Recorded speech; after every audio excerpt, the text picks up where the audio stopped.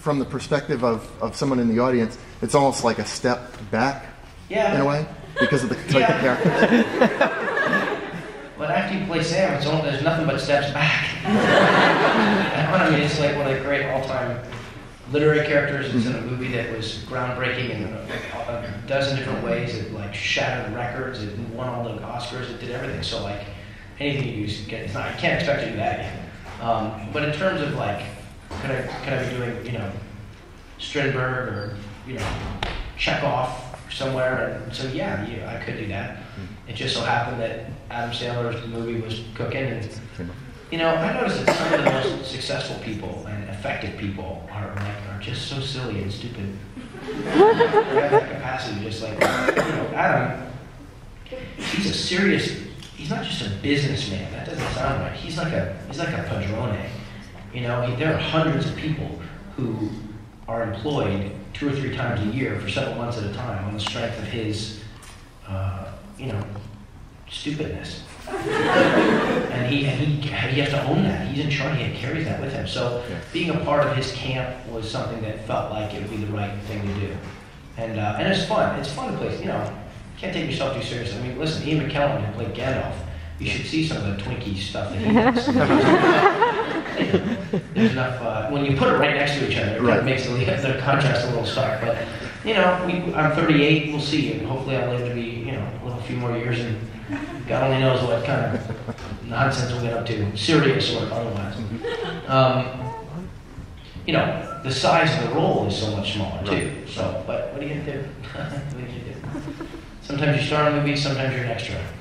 It was a great role either way. Yeah, it was. I mean, yeah, I love I funny. love Doug. No, but that's it's a very logical, you know, so it's a question that I consider too. Yes.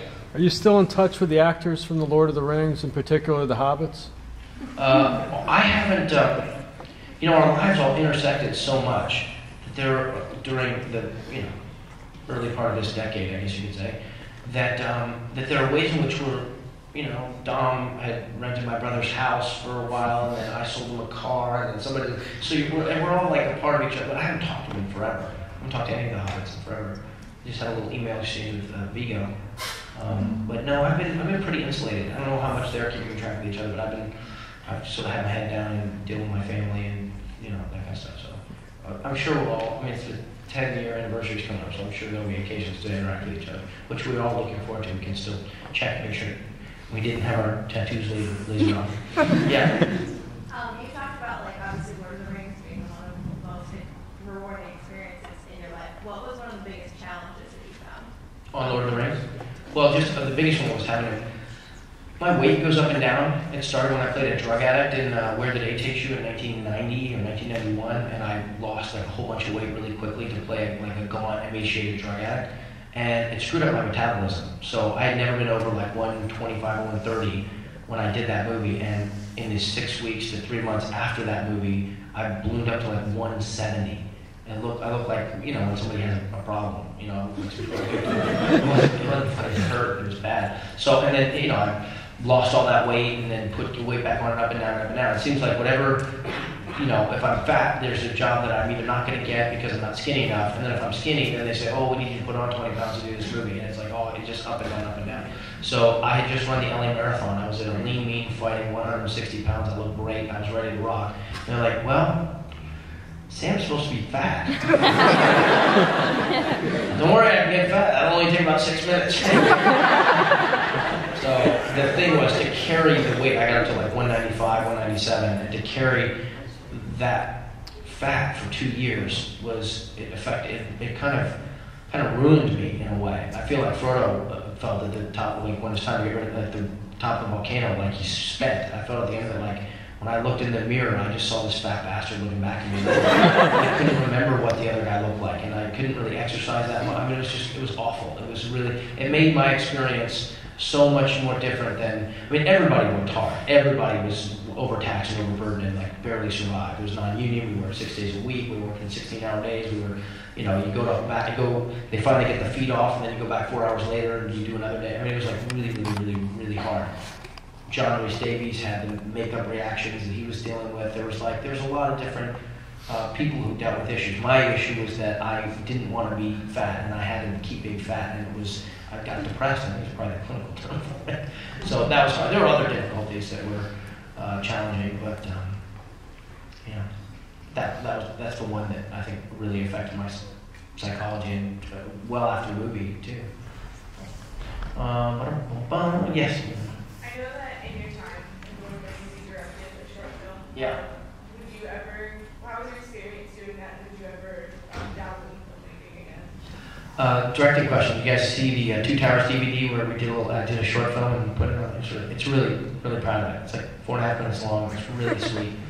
Everybody I've ever shown it to just loves it to death. It's really, you know, so proud of that. Anyhow, um, I am a director. I'm a filmmaker. I've been a filmmaker since I was eight years old, and I had to do chores to get money from my parents to pay for the $16 for a, a cartridge of film.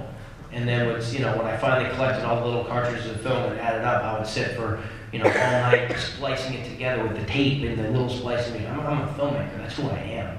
That's my identity. More than a, you know, somebody who wants to be a politician or an actor. Filmmaker is what I feel like inside. So, um, so I've done lots of, you know, short film I did when I was uh, in my early 20s, got nominated for an Oscar for a live action short, short subject uh, with Gregory Hines and Michael O'Keefe. Um, so anyhow, that experience was surreal. I, I had the idea for it.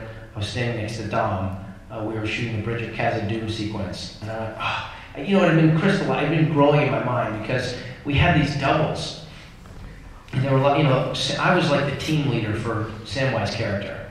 There was the stunt double who was the same size and shape. There was the photo doubles who was basically the same size and shape, but doesn't need to do stunts, but can be photographed from far away. So three different people wearing the same wardrobe essentially.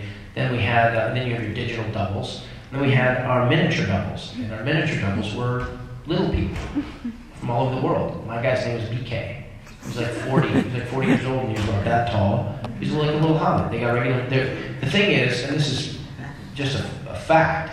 Um, a lot of I don't know the difference between uh, a midget and a dwarf. Like there's actually science, there's medical classifications for it. I don't know what it is, but a lot of times, because of medicine, modern medicine, um, little people in this country can take medicine. It allows their their head to grow to the kind of the size of their body would normally want to grow if they didn't have this thing. So that's not who that they didn't want to hire little people who had that proportionality. They wanted to hire people whose heads and bodies were, you know, kind of yeah, proportional to each other. And uh, so they looked all over. Be, um, the, the star of, of the short film is Fawn, and uh, and basically they, they were they worked harder than all of us put together. I mean, being fat was nothing compared to what these people went through. They were they were their skin. A lot of them were olive skin. You know, BK was from India. She was uh, Fawn was from Thailand. Um, so their their brown skin. They would have all day long. They have painted skin, and then they wear a mask with my face, a mask that looked like me in front of the. It's like we no, no one would ever know it was them. It's like they're. Uh, it's just unbelievable kind of devotion and willingness. They all had, oh, always had good temper, good humor about it, and happy to be there. And so I wanted to do something that. Ca- and then we had like Tall Paul, who was almost eight feet tall, just a member of the crew, and they enlisted him to be the kind of the hands of a human on the shoulder of a hobbit. So the camera's looking here without, and you can't see above that person's waist. You know, if it's if it's Strider putting his hand on Sam, and you've got this massive hand on the shoulder. That's what it would look like. If, that's what my hand looks like on BK. So you know, you've got these people. It's like a circus, you know, and everybody is. All, we're all a family, and everybody's the same. And it, some people don't get acknowledged. They do. Everybody gets acknowledged for their work, but I just I recognize it as something worthy of you know poetic attention. And so did Viggo. Took great photographs, and lots of people did different things. Billy's relationship with Fawn was so beautiful. So um, BK would go to the tops of the mountains. He was really good at chess. And we, if we forgot the chess set in the helicopter, we'd make a chess set out of like, you know, the, we'd go to makeup artist and they had toothpicks or something like that, and we'd make our chess sets. And he loved politics too. So we'd sit on top of these mountains dressed exactly alike. You know, basically, Sam and Sam played. He'd whoop my butt at chess. I'd hmm, checkmate, Mr. President, you ready? It's like, how he? I stayed up week after week trying to get good at chess so I could beat him. He just had a mind for chess. He was good at it. So, um, so anyway, that's how it came up. Yes, we right now I'm. Um, my wife and I optioned the rights to Number the Stars, the book uh, that Lois Lowry wrote, and we've written a screenplay adaptation, and we are um, I'm, I'm going to direct it, and she and I are producing it, and we, we're about the business of getting it made. We want to shoot next summer, so